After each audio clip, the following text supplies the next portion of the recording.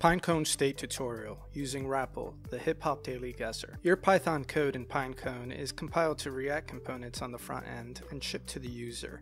But on the back end, your Python code lives on along with your application state. Pynecone issues each user a unique ID to their browser and stores their own copy of state on the server. Pynecone uses event handlers to communicate user events such as clicking a button or hovering over text to signal the server to run respective Python code.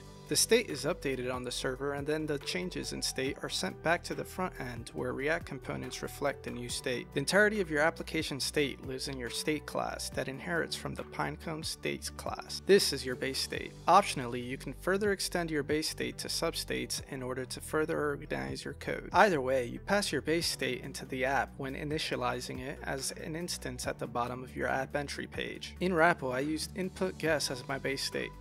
I also used a couple of substates for my modals and a substate to manage the logic for setting and getting the daily song.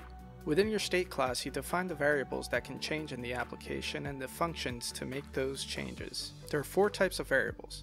Base variables, computed variables, backend variables, and custom variables. Base variables are fields or class objects of your state class. If you do not give it a default value, you must provide a type annotation. In Rapple, you can see that I defined a current guess space var and placed it in the input box by referring to it like a class attribute. Computed variables are functions that return a value. Simply decorate your function with at pynecone.var and always type hint. You refer to this variable just like a base var in your UI. In Rapple, the comment on the user's performance is chosen from a list based on how many guesses they inputted. Pynecone API between your backend and front end requires that both base variables and computed variables be JSON serializable, so stick to Python built-in types. Backend variables are like base variables but do not have to be JSON serializable, so they can be freely used on the server. Start your variable name with an underscore and feel free to use any Python type.